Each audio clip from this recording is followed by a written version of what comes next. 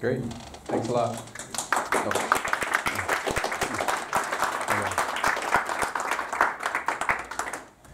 Uh, hi, my name is Thomas Nyberg. I probably should have put that there. But uh, yeah, so we're talking about mainly the focus is going to be how to write C++ extensions in order to use from within Python. And I'm going to give the talk mainly from a Python perspective, knowing that I'm here talking to C++ people. So I want you to be aware that I understand the irony. I have a bunch of code that I'm going to be going off, and I just uploaded it, so it probably is downloadable and workable. If you're bored, I'm going to show it to you, so you can also look at it on the screen. But it's there. So the point is, today, the, the, the goals that I have are to understand how to write extensions at kind of a basic level, but I mean like, you know, kind of understand it. Understand why to write extensions, and to understand what they really are. And the perspective that I'm taking it is that it can be really confusing to work with a couple languages simultaneously, and it can be also more confusing to learn how to debug it and work with it if you don't know what's kind of going on under the hood. I don't want to talk about CPU instructions, but I want to give you some level of understanding that can hopefully make it a little bit easier. So, the talk will start with very simple Python. That was what I was saying a second ago. It's not C++ we're starting with. The C++ we use will not be very fancy. I'm guessing that I'm on the lower end of the knowledge of C++ in this room. So I'm going to be using just Debian 9, and I'm using CPython, which is the common distribution, the common uh, Python implementation and I'm going to just assume that that's what's being used. And basically the perspective I'm going to take is that this is the correct way to look at it, and if you have differences on your operating system, then use this as a guide to kind of understand it on yours. But philosophically, it should be roughly the same thing. So this is our starting point. A bunch of dots. So the point is, that uh, we want to draw a line that separates this plane pretty nicely into red and blue dots. Roughly in this side, you have more red dots, you have more blue dots on that side, at least it looks intuitively to be case. And I want to be some way specific in some sort of a, you know, actually rigorous way of drawing some line that can separate this into two good halves. This is the sort of thing you'll do, not usually looking like this, if you work in machine learning and advertising and stuff like that. So, now, the perspective that we have here is that we just finished a machine learning class, and we know what logistic regression is, but we don't know that there are a million implementations of logistic regression. So we're just going to write our own implementation of logistic regression. And that's what we're going to do. So the point in logistic regression is that you're trying to set up some sort of a mathematical problem so that the solution to this problem is that line.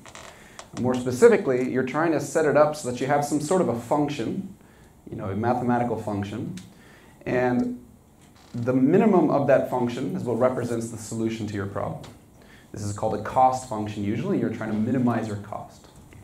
So now, just kind of take a, some sort of a perspective. If you're in the Alps in Switzerland, which is not this country for some people who are confused watching, mm-hmm. but the point, if you're standing up, maybe at the top of the mountain, maybe not, and your goal is to get to the bottom of a valley, then one strategy is to find yourself standing somewhere, look in the direction that is steepest down, maybe here, take a step that direction, and then, now where you're standing somewhere else, you look around, you find the direction that's steepest down, you take another step.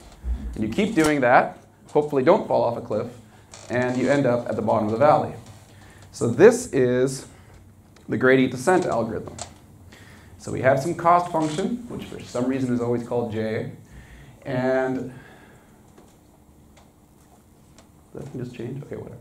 So we have a cost function, some reason j, and we want to minimize it. And so the way we do that is we have some place that we're starting, and we're just choosing that at random. We are computing the gradient at this point. The gradient will basically be some vector pointing in the direction of the maximal change of your function, and you want to step in the direction that is making it go smaller.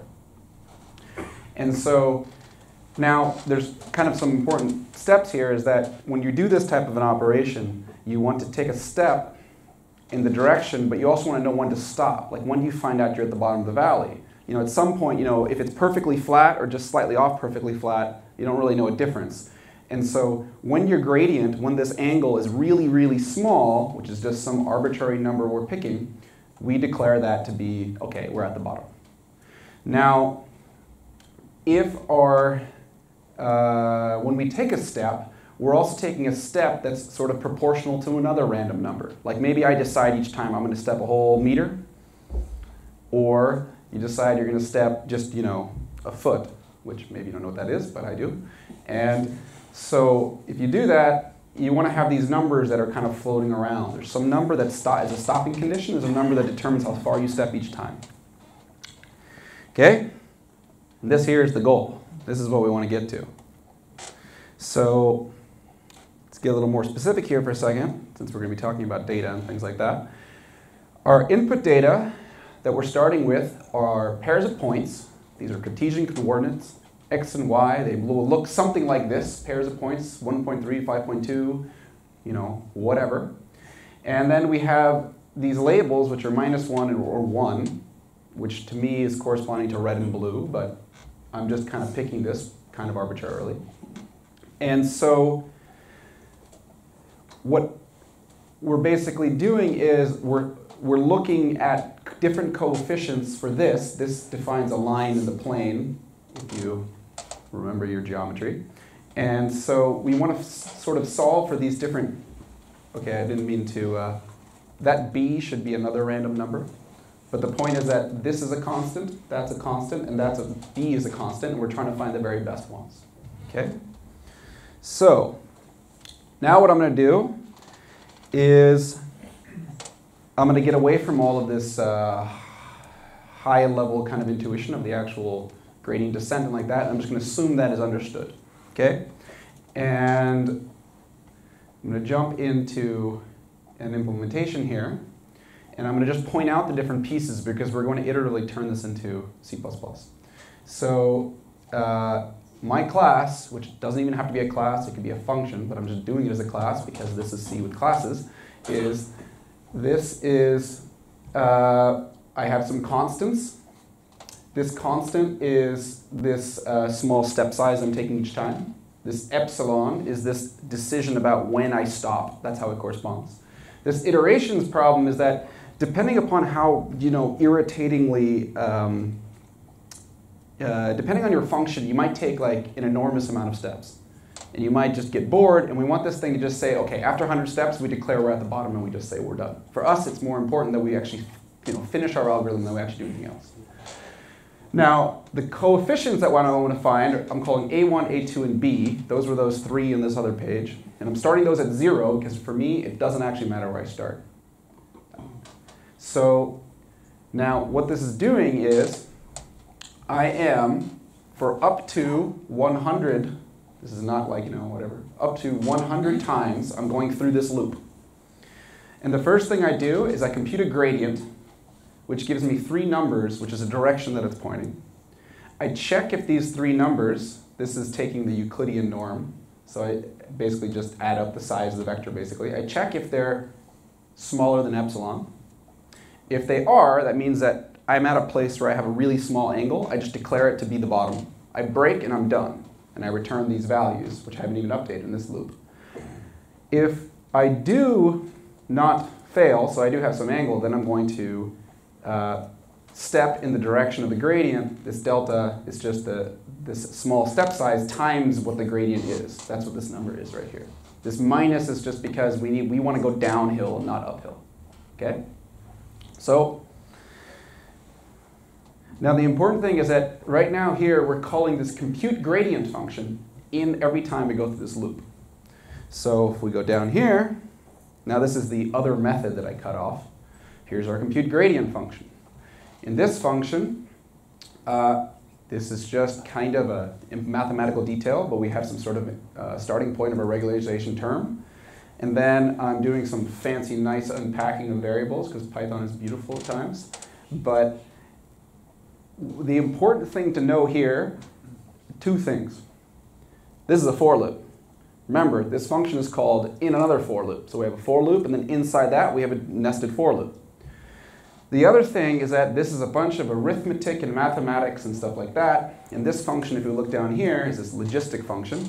It's just some fancy version of an exponential function. Math.exponential plus one inverse. And so everything that's going on here is just some sort of a standard mathematical computation. And this is just arithmetic. And this is, uh, well, you know, exponential. So the point is that nothing in this entire operation is doing anything fancy that requires Python, really. And there's also nothing that is going on here that our CPU can't do really, really, really fast. So, let me see. Okay. Now, let's go over here. So, I want to look really quickly and just kind of give you some, uh, by the way, you know, it's Python, so we can just do this. I import data. I'm going to do things like this, generate data, five, I want, actually I want to say, say four data points. Say minus a third, minus a third,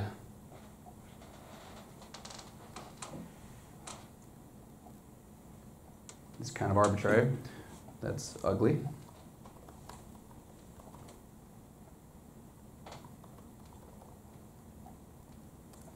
So it's what I showed you on the slide. That's it. Here's our points. There's our labels. Okay? So let's go out. Now, if we look at this plot points, this is another reason why you might like Python. Here I just did this, this line. I generate some data. Uh, I do some irritating stuff that I might want to do for uh, this specific library, matplotlib, is I want to label these things red and blue according to the necessary format. And then I just go plot, plot, uh, save fig, and if I'd run this, which is just Python on that, it gives us the data. So this is one of those nice reasons why it can be nice to use Python. So let's go back. So in pure Python, this is just what I was showing you. That's it. Okay? This is what I just walked through. And when I plot the decision boundary, should notice the only difference here is that I have to go through, I plotted the picture, but I have to go through some process to solve for some lines. This is, you know, solving for the line, giving, given the, we, we solved, so we, we instantiate a model, our logistic regression model. We have our data, we fit it to at the top. Here are the coefficients, these are the, the, the resulting coefficients. Then we go through and compute two points based upon this line, and we plot those two points on the line of the picture that we already had. And so if we run that, we get this sort of thing. Here's one, there's one there. So this right here is, um, you know, this is enough, right? Like we have a picture, we have a line, and so we're done. Well, no, probably. The boss doesn't like that we're probably going to need to be a little bit more, uh, you know, careful. But so let me say that what I'm going to show you in a second is I'm going to show you some tests that do some comparisons. And let me uh, go on there right now. So first, let me actually jump into this uh, the C++ portion. So if we look at C++, what do I have? This is probably not necessarily the fanciest thing that's going on here. There's probably better ways to do all this, but if you notice, look at this, it's the same algorithm. Some things are a little bit longer because I chose the way I chose to do it goes across the screen, but it's the same exact algorithm. There's really like nothing different going on here. There's our standard exponential, there's our little thing there. This is the same thing. So now the question is, we have this thing, this is C++ code, what do we do? So, well, we need to compile. So if we compile it, This is doing a bunch of crazy compilation stuff, throwing it up here. And let's look what we have here. This nice green file just showed up. Has an SO at the end. This should sort of give everyone who kind of knows this sort of thing uh, some idea of what's going on. Python, import lr cpp. Uh, when I go lr dot file, it really it really did come from this long file, has this SL right there. Now, if I want to do uh, import data, and then I wonder if I can do that. Nope.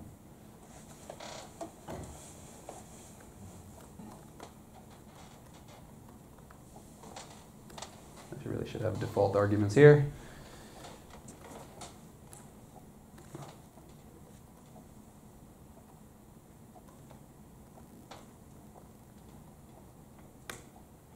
Let's do, we have a model.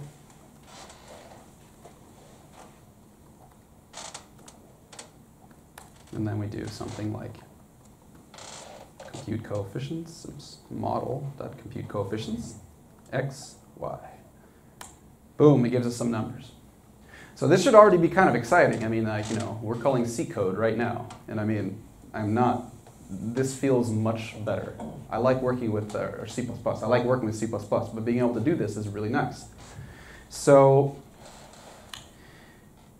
what we can also do is, you know, we can look into a test here. So I have, let me see, I have this program called PyTest. I have some data. This is the generate data. I'm importing my two implementations, my Python implementation, my C++ implementation. And now I'm not doing a very what do you call it, a very smart test here, but I'm just generating a whole bunch of different parameters. I'm throwing it in, and then I am writing a test to verify that they compute the same thing. So if I do this, make test, you know, it passes. So um, now let's run a little profiler to kind of compare what goes on. So I'm going to just, I have a fixed job, and I am running it once with uh, the pure Python version and once with the C++ version. And the two codes look almost exactly the same. For some reason I chose more jobs than I probably needed to, but uh, it's almost ready.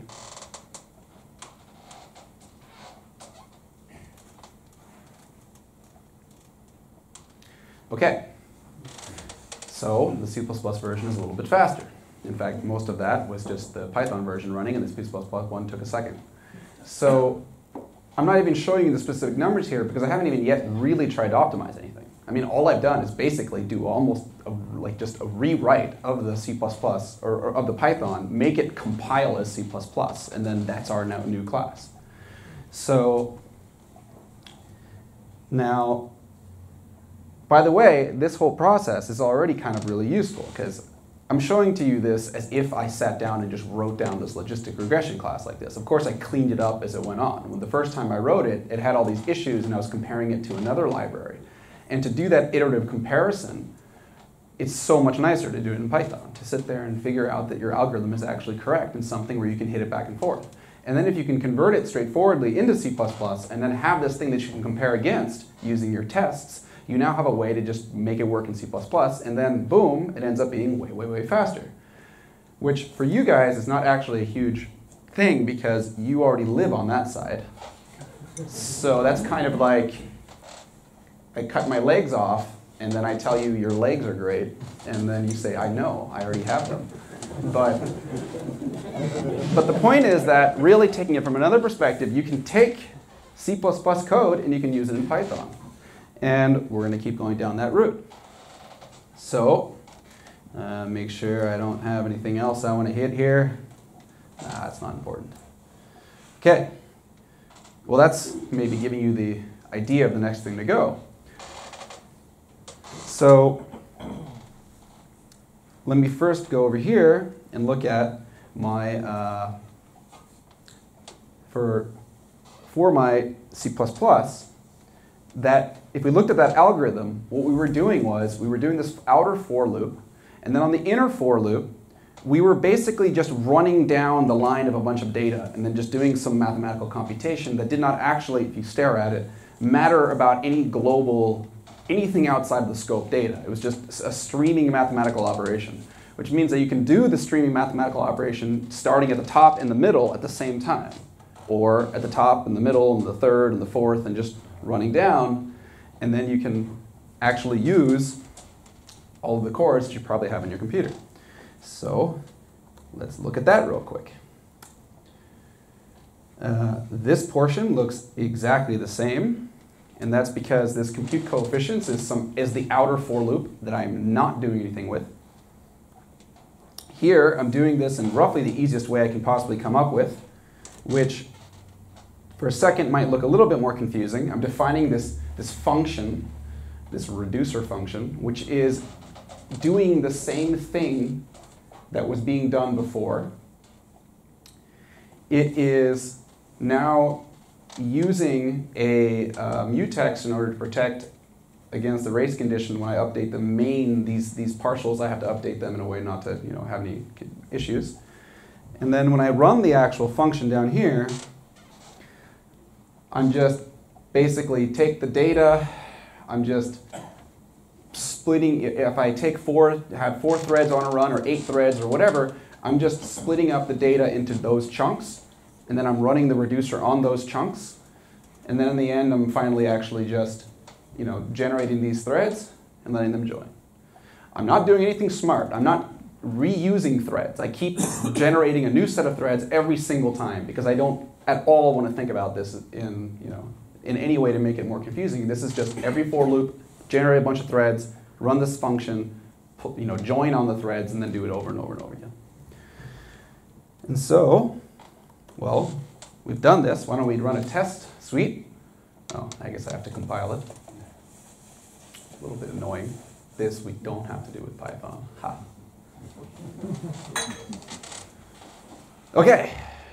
Anyway, that's a bunch of meaningless stuff, but the point is that the threaded stuff is still giving me the right, the right values back, so I probably don't have a race condition. I usually fail a little bit faster.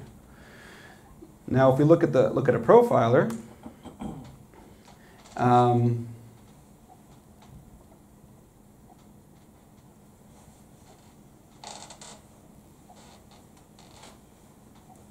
thought this one was faster.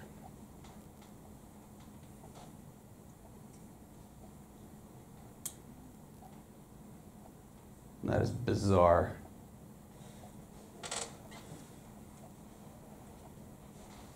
I have never seen that. So, okay, no, I want to be clear that there's there's actually a portion of this. Let's so this actually this was supposed to do this. I'm going to explain in a second. I'm going to run that one more time just to see. Uh, okay, so it doesn't actually just get better. And I don't know 100% why, but I have my theories, which I'll go into. Uh, but uh, it definitely has never gone that badly. So let's see what happens real quickly if I can generate it. Yeah, this is bizarre. Okay, so what I noticed actually to kind of tell you now, I was going to tell you later, but now you won't trust me if anything I say from now on if you don't look at this. But the point is that um, it's not something like inefficiently generating threads or anything like that. Uh, one thing that, that I noticed when running all these different tests actually is that if I run my CPUs like at 100% and I, what'll happen is the CPU will speed up and you can look at the, the debug messages telling you that your CPU is throttling itself. It's getting out of bursty mode. And so what would always happen is I would like drop for a little bit and then I would kind of go a little bit back up, and then it was really hard for me to for me to uh, localize it. Now it's never happened this much, which might be because I'm video recording on this computer, might be because I'm a charlatan, I don't know. But the point is that this is actually pretty hard to um, get right. Now we're going to come back to this because there's higher level reasons why you shouldn't believe this has anything to do with Python. But uh, but honestly, it's, it is bizarre. But we'll get back to that. So That was not the way I wanted to put it, but let's see. So let me actually just really quickly take a step back and say, how is it that this is even happening? So we have this class, which is inside of this lrs.cpp file, and then I want to actually, I want to somehow pull it in from Python, and so let's look at the code that does that. That's pretty crappy, huh? It's pretty long and complicated. So, all right, what's happening? I'm just, this, by the way, firstly, this is C++. I mean, it's C++ with some, pulling in some header files that are doing some magic that does this. But I mean, at the end of the day, it's, uh, it is C++. And all I'm doing is I'm defining that I have some initialization function. I'm telling it that there is a method that I want to call compute coefficients. I'm pointing that method at the actual implementation in my class, and everything else comes for free. That's it. That's the only thing I'm doing. So what I'm using here is this library called PyBind11. It's a really nice library.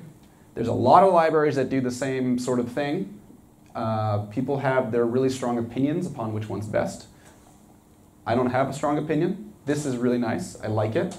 Uh, but the point is that if you just take a step back and just forget about that and just look at what we have to do here, is that this is all we have to do in order to take our C++ code and make it something that Python can understand. So this is something that you can do as well. So now, what I'm going to do is I'm going to go over here. Now,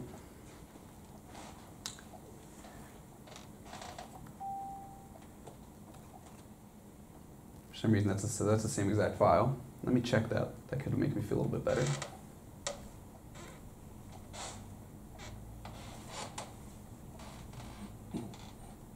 Oh no. I added in the thread parameter. So that's the only difference that I did for the second one, is that I added in, this is not actually that it's one, it's just saying the default is one. That would have been nice if that saved me. But, um, but this is all I'm doing in order to uh, export the information that I need to pass some number of threads to my class. And if I want to just make it, you know, one is the default, then I'm, then I'm good. In fact, if I go like this, and I just write, let's go like yeah, that. So this is automatically generated help stuff, so it's not going to ever be magical. But it is telling you uh, right there, for example, the dumb threads is an integer that's default 1. It's telling us that we have some method here, and all of this comes for free from PyBind 11. Okay?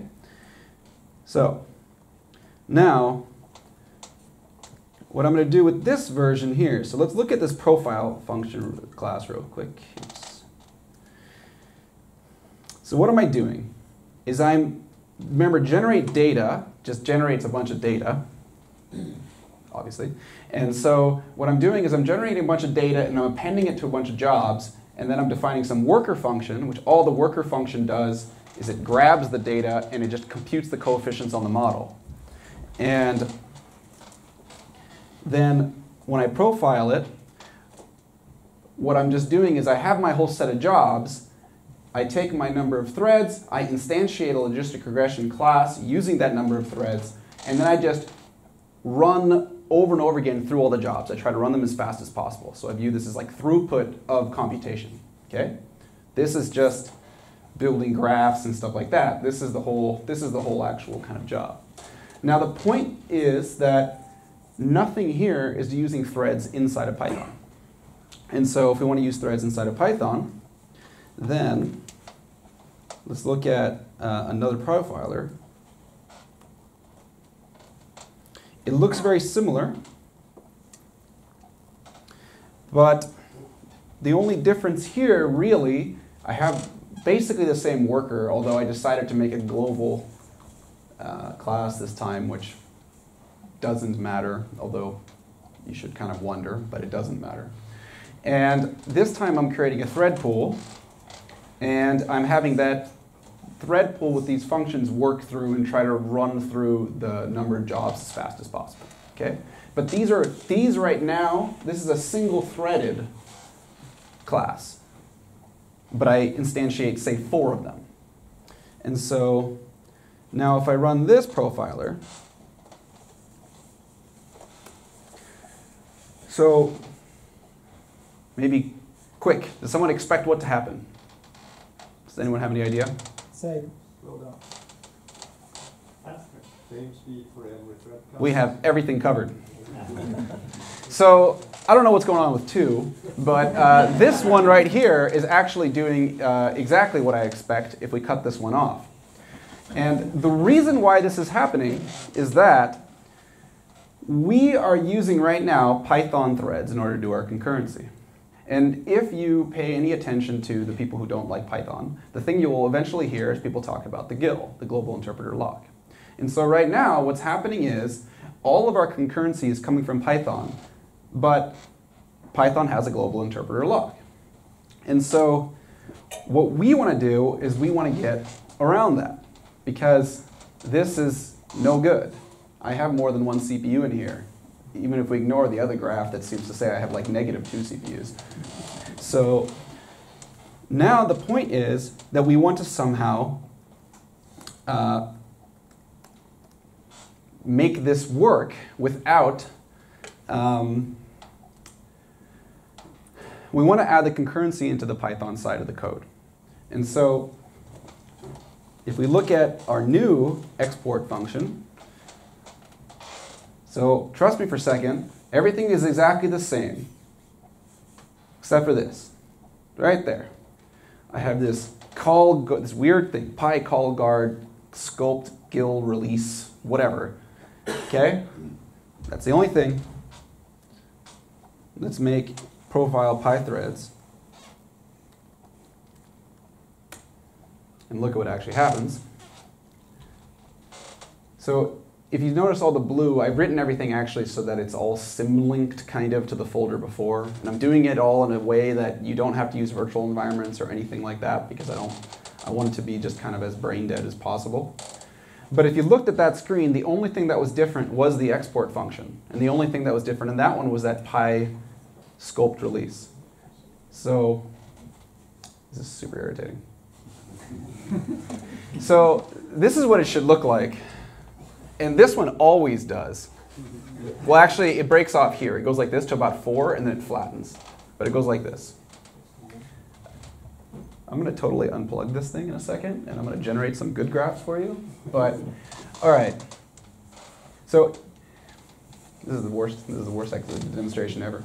But uh, right now, the one thing I would hope you at least kind of well, even that's hard to say. I'd like you to believe that the threaded implementation is doing something. Okay. We're gonna have to take a step back to like kind of you know. I could I could like maybe uh, start looking at syscalls in order to kind of demonstrate that for you. But um, let me uh, kind of like take a step back. And then we're going to kind of talk about what's actually going on there and why that shouldn't be happening and why, uh, I don't know why it's happening, but why it shouldn't be happening. So the implementation summary, you know, we're, oh, I don't care about this. So this is the actual point that I care about. What is a CPython extension? So CPython extension is a shared library with a bunch of code. This code is basically anything, and the only real requirement that this code has is that it has certain functions that are exported into Python. So let me go back here for a second, and let me do this.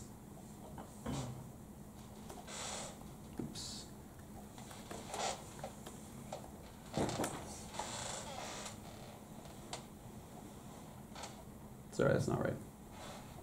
LD. LD debug. Yeah, it should throw all this stuff. It's telling me when different dynamic libraries are loaded. And now if I import lrcpp, are you kidding me?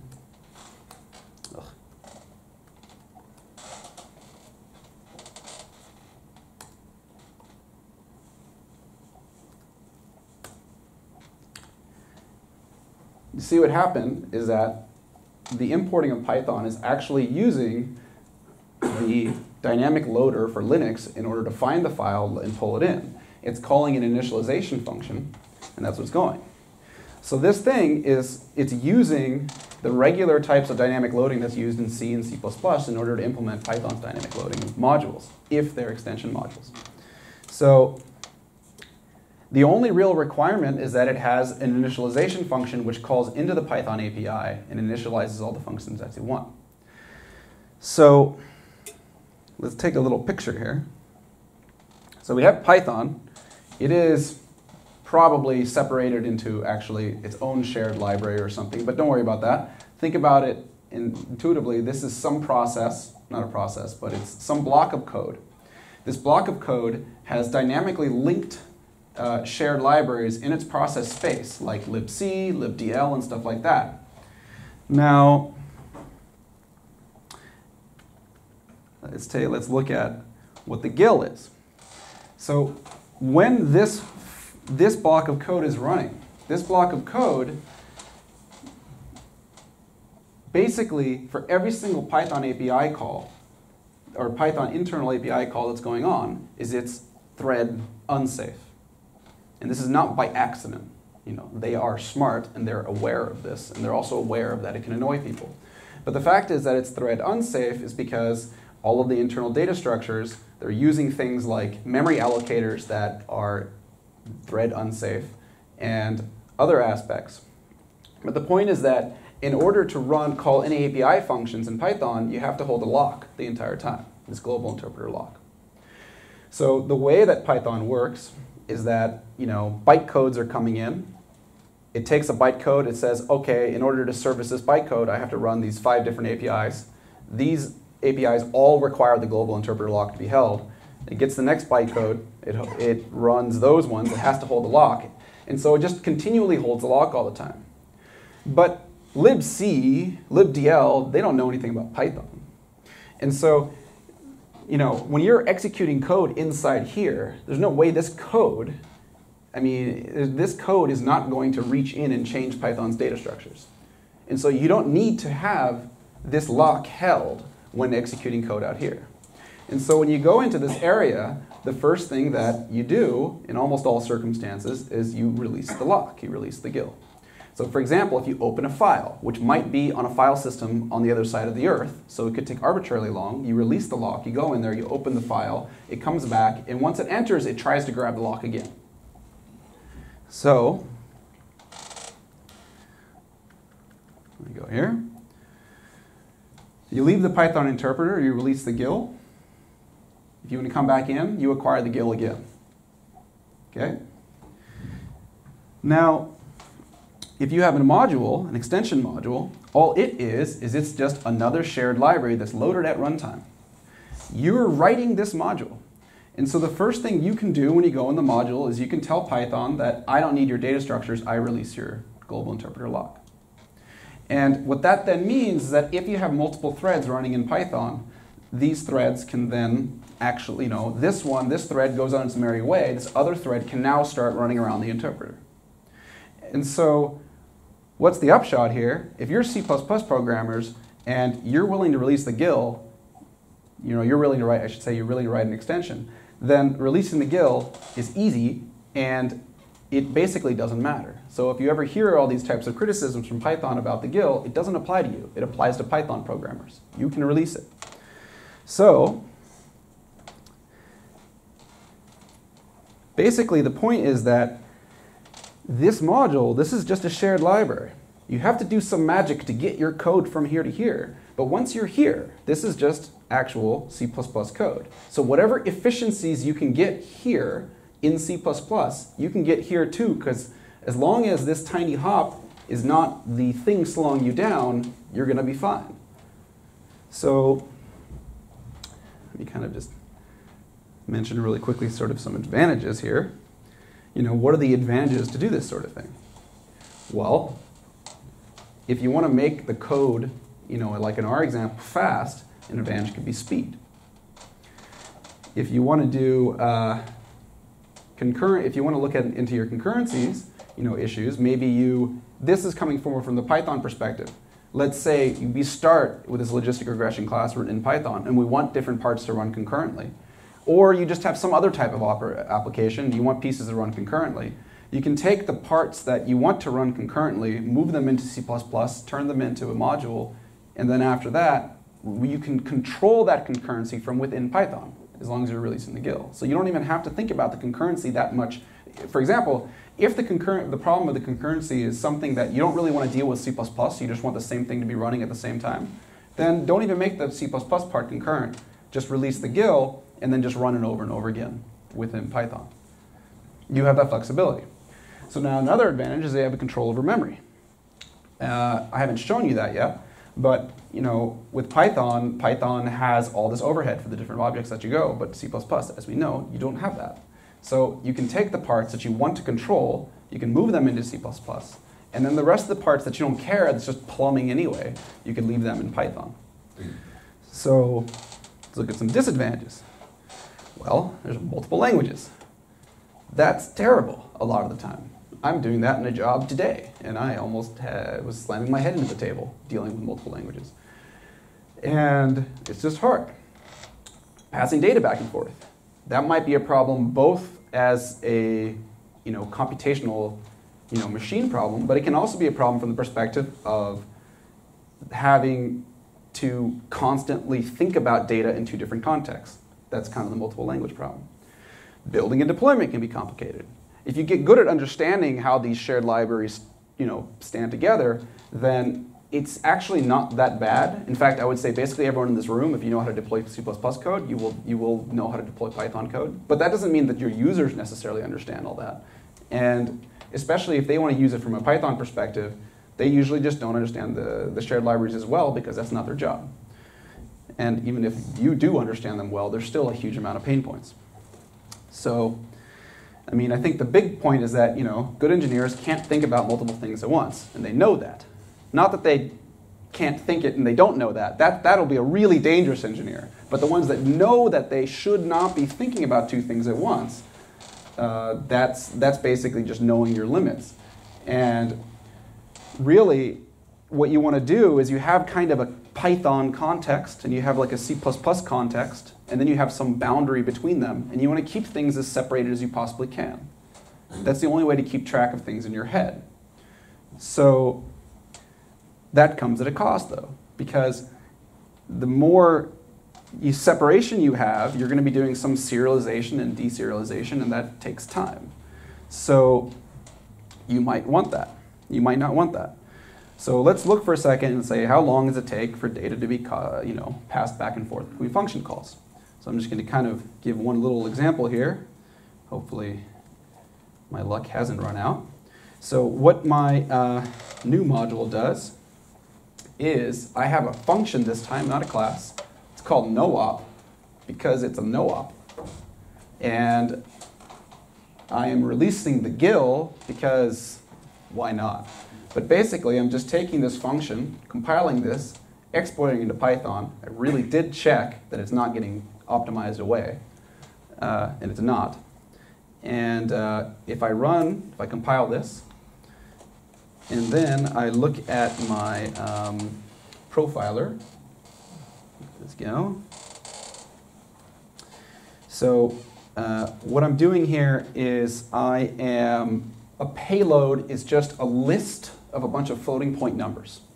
Payload of size 1,000 is basically 1 to 1,000. Um,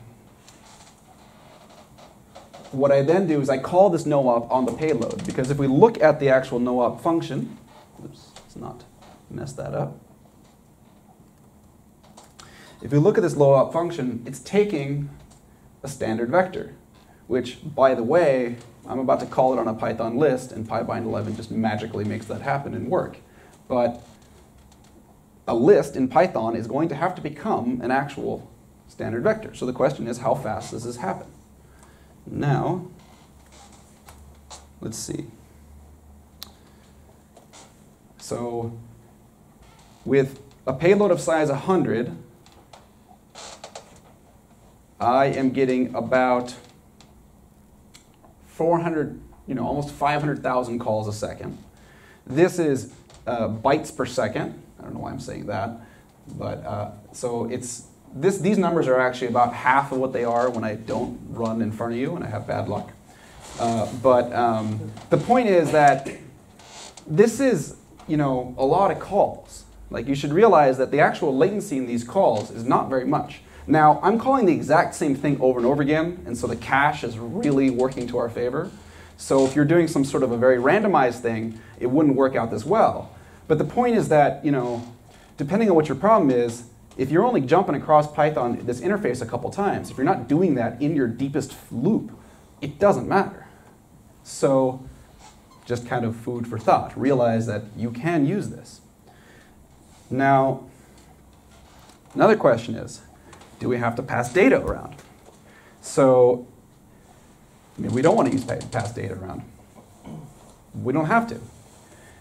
The reason why we have to pass data around before is because Python has this list, and a list in Python is actually a long, it's basically the equivalent of a vector in C++, except that it's not storing these uh, longs, or maybe doubles in this case, inside the vector. It's, it's storing a reference to the long, to this double object inside the vector. So it's the equivalent of you know, if you store uh, strings inside a C++ vector, then you're really storing basically a pointer to the data because the data is variable length.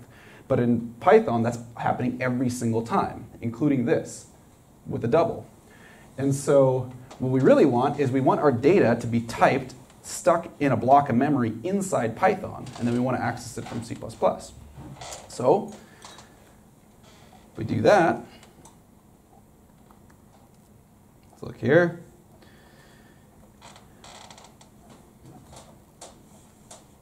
actually, let me first show you, uh, let's see, the, the test uh, right here. Uh, actually, no, let's not show you that one.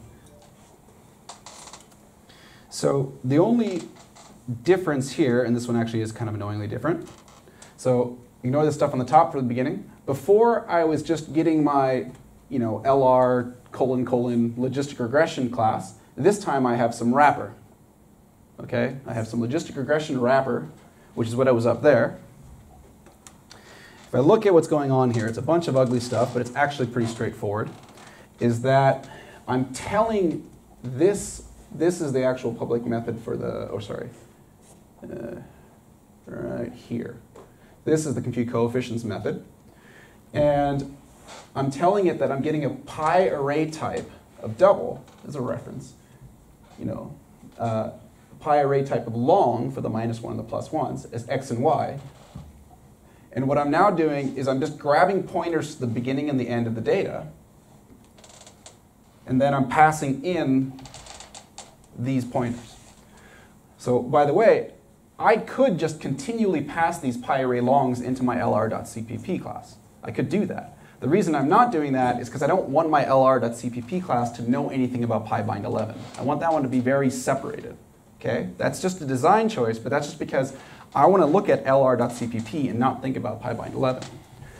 And so, but the point is that this is just uh, an array of data. If we look at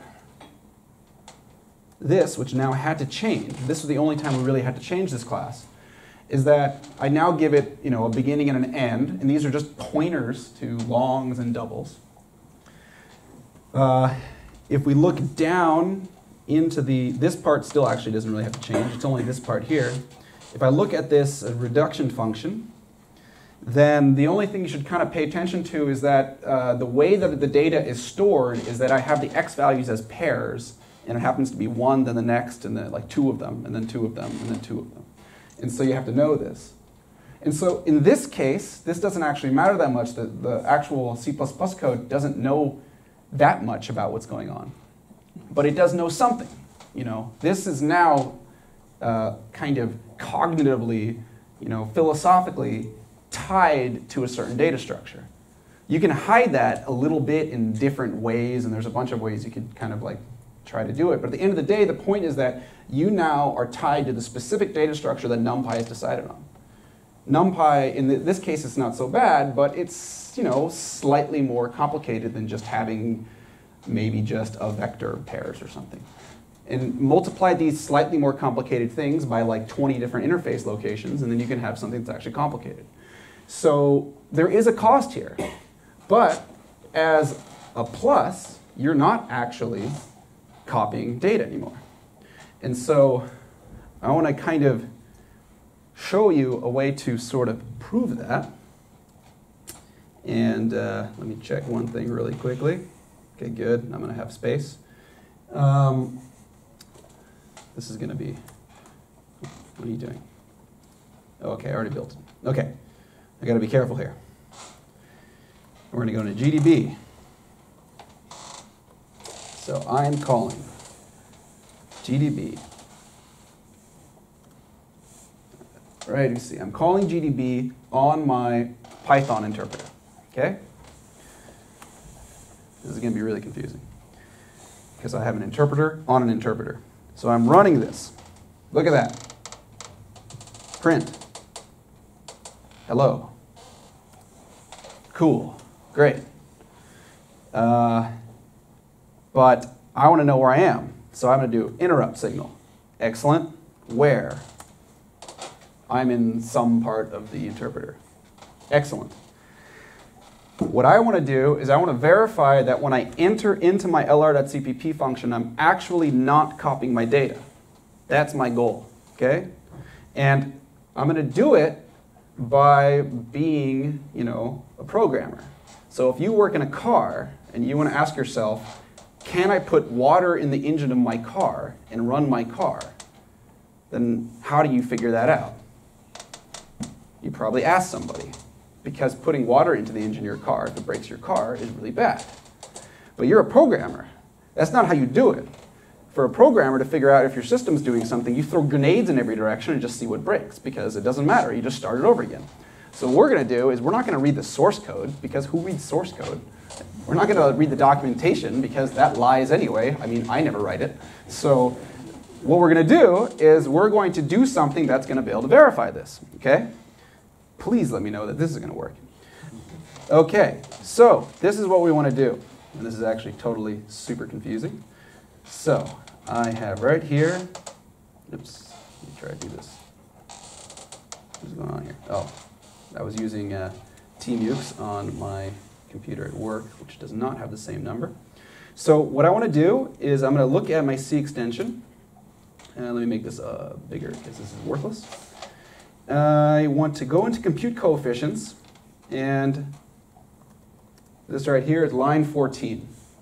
Okay, this is the fun, this is the, the, the code that I use to compute this. So what I'm going to do, I'm inside GDB. I'm going to set a breakpoint at lr.cpp on line 14. Make breaking point future shared library load? Yes. Now, why did it ask me that? It asked me that because I have not imported this yet. So if I go like this, info breakpoints, it just says address is pending. It hasn't been imported yet. Now I want to get into the Python interpreter. So continue. Cool. Now I'm in Python. Now let's go like this. Import lr cpp. That worked. Let's do a, uh, an interrupt to kind of make sure we're you know, on the same page. Info breakpoints. Boom. This thing is, it actually found this line of code. So this is good. Let's go back into Python. This is why it's so confusing. Now, what I want to do is I want to create a model, uh. I have this model. But I want to run this on some data. But I want to see if the data is being copied. So let me go back print get PID. This tells me the PID of the process that GDB is currently instrumenting. So this is the Python process. So now if I go and I look over here, and I go htop process 17036. That thing right there, let me make it big and look for one second. Well, I don't feel like going over, but it says, maybe I will, see. Oh, sorry, I was pretty lazy. Command is Python 3. So this is all good. It's looking good. Now, the number that we're looking at right now is we have this, we have our virtual memory and we have the memory that's resident, which, you know, is kind of confusing. But the point is we want to make these numbers get bigger. So if we go back into Python now, now what I'm going to do is I'm going to continue. So I'm back in the interpreter. I import data I want to generate x and y, and I'm going to say data dot generate data. This time I want to be very careful the number zeros. 10, 1, 2, 3, 1, 2, 3, okay? Keep on.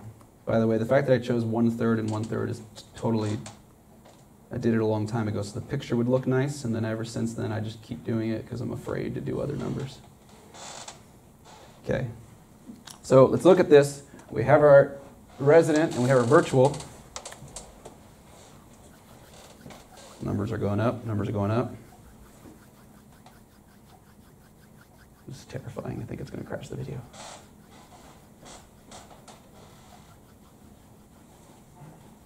Didn't crash it. Okay, right now we have 2114 megabytes resident. Okay? Now what I'm going to do is I have my x, I have my y, and I'm going to do this, and I'm going to call it. Okay? This thing should immediately break into the debugger when it enters the code. And what I want you to do is just watch that resident right there. Oh! Let's see. It's taking a long time. Wait a minute, it went up. Okay, weird. Let's return. And if you remember in the code, I'm returning and I'm sending back garbage data, which is why, and then this, I'm to return early. Continue. That's the garbage data. Okay? But now look at it, 2095. It's back low again. So this is all, all continually making you think that I'm actually a charlatan. But this time I'm ready for it. So another thing is that, did you see how long that just took? That didn't do any computation. That was like, that was like three function calls. So what's going on? data is obviously being copied. Something is happening. Like, why the hell is this happening? And this is not actually me kind of doing this as a lesson to you guys. I started this, doing this at, at home to verify that this wasn't copying, and then it is copying. And what's going on? Well, what's going on is if you return now, continue, look at type X, I'm calling that with a list. I don't want to print it because it's about 8 zillion things. But if I look at what I did when I generated it, ah, I wasn't using the right function. I was actually generating it. I was just generating the list as before, types of just um, a list of a bunch of pairs of floats. If I do the NP version, we look what happens. I now have x and y. I actually have way less memory because this is much more compact. These are now NumPy arrays. If I call these right now, boom, instantaneous, no actual jump in memory. So I hope this actually blows your mind, because what this means is that not only is PyBind 11 doing all this magic for us behind the hood, but we just, we just threw the wrong crap at it. And it's like, no problem, I'll just use that. And it did it for you. So that's really cool. Now, in our case, it was actually total backfire because we were trying to do it uh, in a way that it wouldn't just handle everything for us. But the point is that well, we can fix it if we know what we're doing. So anyway, this is just some sort of long way of kind of showing you that Python can send this data and actually access it from inside. And if you do it, and at least very toy examples that aren't too complicated, it's not necessarily so bad. So let me continue out of there. Oh, shh, no, I don't want that. That's going to take so long. Okay, so the answer to that is no. So basically now, we're kind of at the, the home stretch here, is that, you know, for this type of a thing to work, you have these design questions, which are basically where should data reside? Where should execution occur? So in my case, I keep on having the actual data sitting in Python. I wouldn't do it in this way if, in the, for myself if I were actually writing this. What I would do is for the Python, for the actual C++ class, I would expose some sort of a pushback method or something like that and then I would just send the data all the way into the C++ class and let it own it. Because in that case, I would still have all my parallelization. I would still go, I don't, I don't need to have it running um, separately in Python and C++. Uh, or at least I don't need to have that data accessible within Python. But that's a design choice. It's a question of what you want to do. Where do you want this data to reside? And if you choose to have it in Python, maybe you want it accessible, do you, can you accept copies? Now you have execution. You know, should the execution and the data basically be next to each other, or should they kind of be separate? I mean, if there's a lot of data and you constantly are moving it around and the execution is fast, then you're kind of in like this situation where you should really be doing some sort of a MapReduce like thing where you're moving execution to data. And if you're, you're in that type of a problem, then that affects your design. So there's no answers to it. It's just in general, you just have to think about it. But um, basically, kind of as like, you know, a conclusion, the point is that you can, you can compile whatever C++ you want as long as you're willing to put that thing, you know, not in your, you know, as long as you, this object that you're compiling, putting in Python is not in the deepest loop, or is not somehow something that has to be called from within C++, then you are golden. So, yeah, basically, I think that more people should consider doing it. And that's it. Yeah. So uh, what happened? You, you uh, didn't uh, uh hold the global interpreter lock, but you still operated on data. Is there any risk Python is moving the data around while you're operating on it? So when I was operating, so when I released the lock, okay, so that's actually a really good question. And uh, not to say that that's kind of a bad way of putting it, but uh, it's a great question. All questions are great. But actually, if we look at this example here, and um, I'm just going to run this. So this is actually the, um, this is this simple example, the no-op module. Okay? This thing does release the global interpreter lock. Now, if I profile it with the PyThreads, um,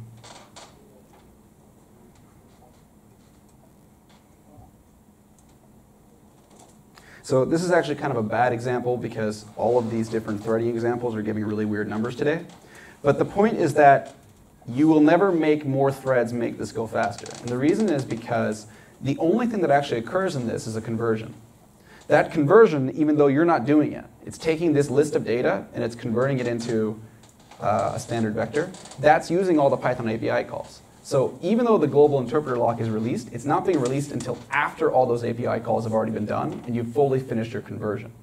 And so in the other case, when we were doing it, we were releasing it, we were never, um, we don't release the lock in any situation until after we leave the interpreter. So when we're in the interpreter and we're doing all these conversion situations, those are all fine. So you're not actually going to step on each other's feet. You're not going to cause any concurrency issues because you're holding the lock at that point. But that's really important because it means that you cannot get anything. Um, like you will, you have sort of anytime you're in the interpreter, you have Amdahl's, Amdahl's law going on, and so you're not going to actually be able to um, get anything out of there unless you're corrupting your data, which you will in like two seconds because it, it's like race conditions everywhere if you remove the global interpreter lock. But uh, yeah, yeah. So think one question is why in your C code that even how many strides doesn't matter, you have the same performance. Yeah, that's that shouldn't be happening. That's probably because you hold the global lock. If you check your C code. No, no, no, no. So it's that's yeah, that, that's not that's not the problem. That's not the problem. Those those graphs don't make sense. In fact, I bet you if like I think the only thing that makes sense is that maybe this video program is actually like freaking it out because I've never seen it like that. No, and I mean just uh, if you see your C code, that should only protect uh, this uh, incremental data in the end. But you, you have this lock guard holding the whole algorithm, so it's... No, no, no. I mean, this is right here. Let's look right. Oops. Lock is only locking three Yeah. You should have bracket around the lock and this uh, following straight line. No, no, it only covers three of them. It's only covering the rest of the block. So this is right. Uh, I don't think so. Yeah. Uh,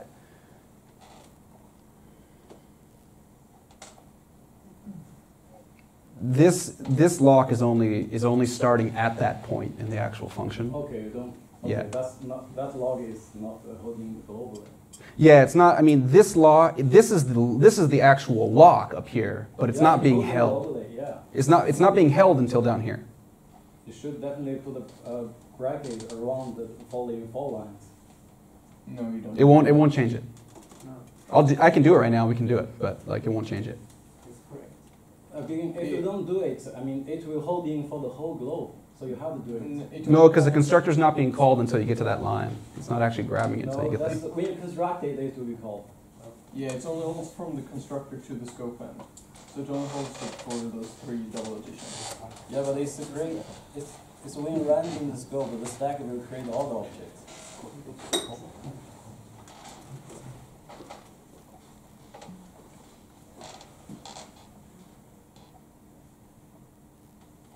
This is not actually uh, a good example because this is not working the way it should anyway. So, uh, in fact, if it really worked right now, then I would be, I would lose my mind. But then, this was probably going to actually show some nonsense again, which doesn't contradict you. So that's how C works.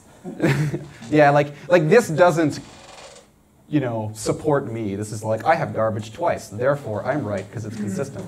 But um, but uh, like, you know, like, but but no. So both of them do do it the same. Um, we can pull out the standard, but which I never read.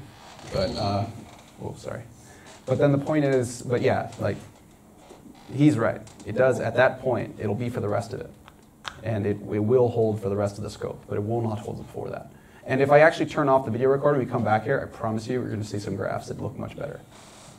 Uh, it four cars, so you see it decrease with. Uh, It did decrease in the beginning. That's right. Yeah. So this one is like, if I could ignore all the other ones, this is the best one. Yeah. But it's still pretty garbage. We can actually turn off the recording now Yep. because we're late with time. Okay. And we split as usual. People with question come here. The rest can spread out. I think there's a little bit to drink uh, still available. And we yeah, chill out the evening.